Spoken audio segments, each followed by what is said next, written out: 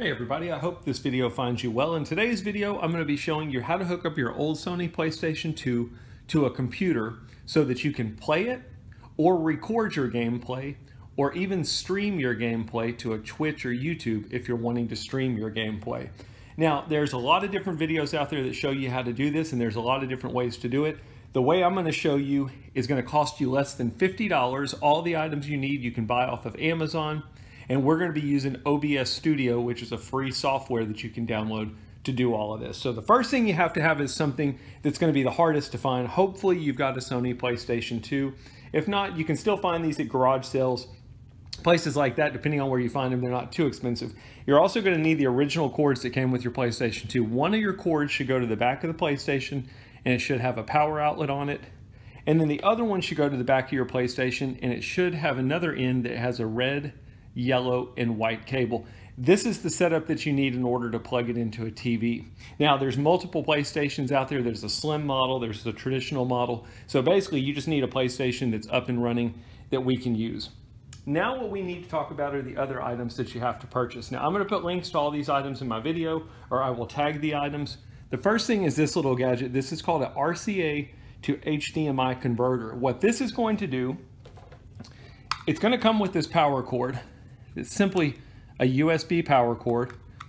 This is going to give the device power. So all you have to do is plug the USB end into a wall outlet or you can plug it into your computer, anything to give it power.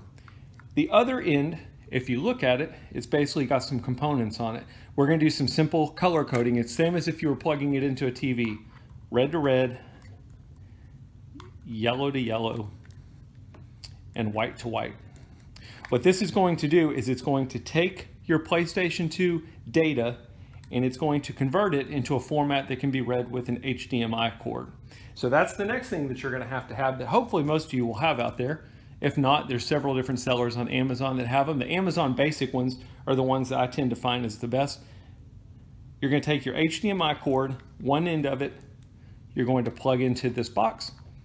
So now we're sitting like this and then we've got an open end that we need to plug into something else. That's where we need the last gadget that we have to have, which is called an HDMI to USB video capture card. Now this is pretty simple, you can't mess this up. One end of it is USB. You don't have to use this extension that they send with you uh, with the video capture card. I use it because it gives me a little bit more room on my computer. The other end of this is HDMI. Hopefully you can see that. Let me see if I can focus. And all we're gonna do is take the open end of our HDMI cord and plug it in to this gadget. So let me talk about a couple of things. You should have three things that are not plugged in. One is the power uh, cord for your PlayStation 2. This cord that's going to your converter box can be plugged into anything. It can be plugged into a wall or it can be plugged into your computer. But this one that's connected to the USB, I mean to the HDMI cable, has to go into your computer. So what this is doing is it's reading our PlayStation, it's converting it to an HDMI format, then the HDMI cable is sending it to this video capture card, and this is going to allow our computer to read it. So now we're ready to go plug everything in, and we're gonna get on the computer, use OBS Studio to see our video gameplay and record it if we want to.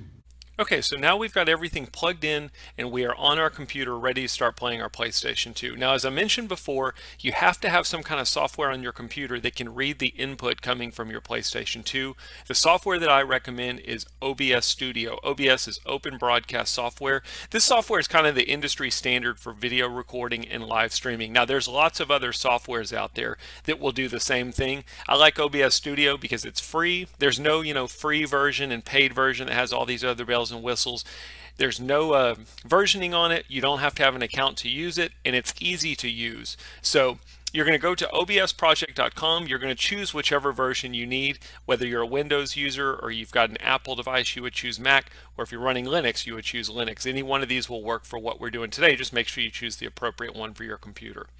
Once you've got it installed on your computer, I'm going to go ahead and open up OBS Studio. Now, at this point, what I would recommend is have your PlayStation on, have a game in there playing. You're not going to see it and you're not going to hear it, but it's going to make finding it a whole lot easier if there's something that we can be looking for. When you go into OBS Studio, the thing I would also recommend doing is go ahead and go to at the menu bar, click on File, Settings, and then Output. Under Output, there's a section called Recording, and there's a recording path that is listed here.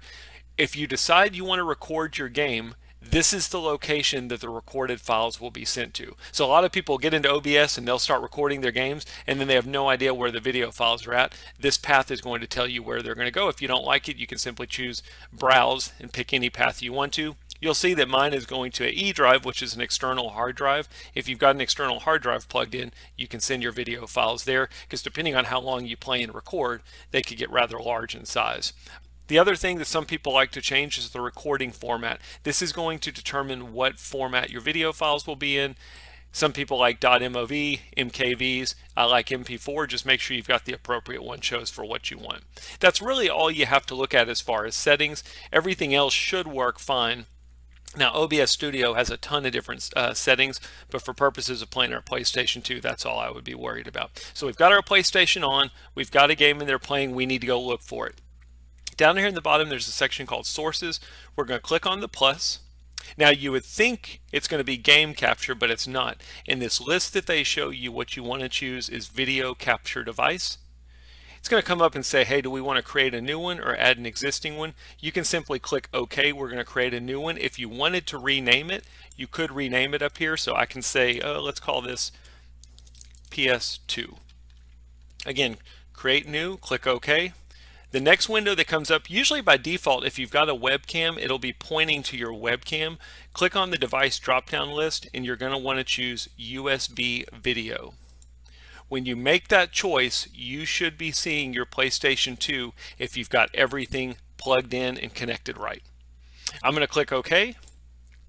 And now I'm sitting on my computer looking at my Sony PlayStation 2 and I'm ready to start playing. And that's exactly what I'm going to do. So I'm going to go ahead, I've got my controller in my hand, I'm going to go ahead and start playing the game. Now you'll notice we're not hearing any sound, but if you look down here from Mic Auxiliary, you can see that there's sound coming through.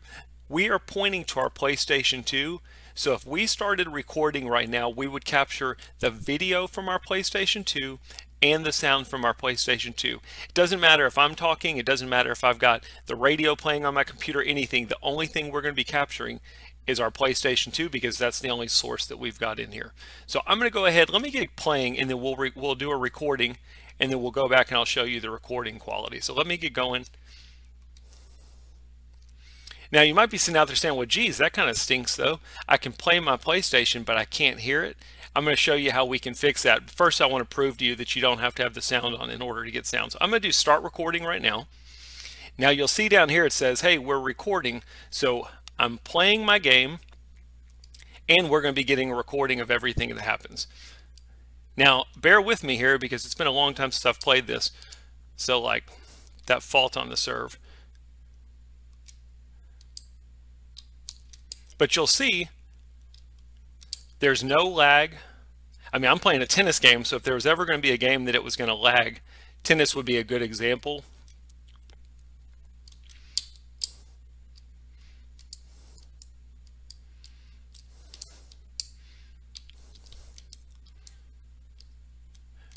All right, so let me stop this.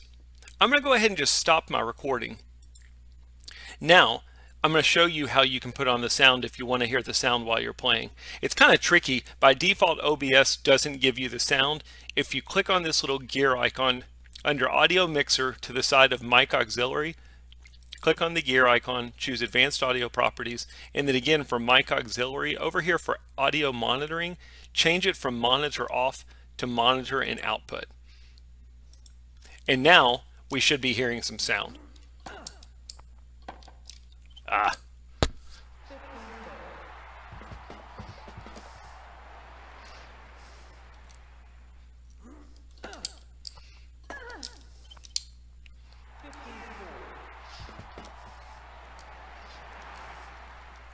Sorry, I probably should have practiced with this game a little bit before doing this recording. But I can tell you, there's no delay or anything with the game. I'm going to go ahead and stop this. I'll tell you what we'll do. we'll just close OBS Studio at this point. I'm going to close OBS Studio. Let's go look for that video file that we went and re we recorded. Now my PlayStation is still playing at the moment. We're just not seeing it because we closed PlayStation. Uh, we closed OBS Studio. There's the video file that got created. Let's go ahead and play it. Now remember, we didn't have any sound on when we recorded this, but we should still hear sound because of what OBS Studio does.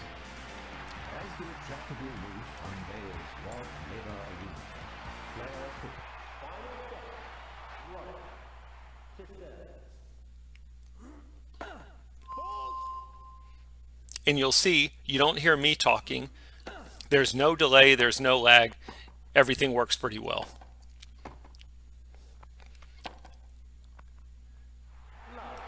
So let me go back into OBS Studio and show you just a couple more things. The nice thing about OBS Studio is you don't have to reconfigure everything. Let me cut off this sound real quick. I could simply just turn it down here. Because we set up our source, when you go back into OBS Studio, it will remember your source and it will automatically be pointing to your PlayStation 2. So you don't have to reconfigure this stuff every time. The other thing is should you want to stream, if you click start streaming here, you can put in your Twitch information or your YouTube information and you can stream your games live while you're playing on it.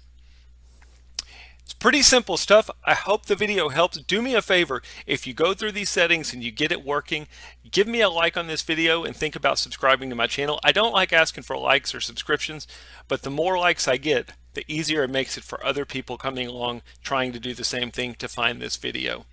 Also, if you have any problems, post some questions in the comments. I'll jump in, try and help you out any way I can. Enjoy playing your PlayStation 2. I hope the video helps.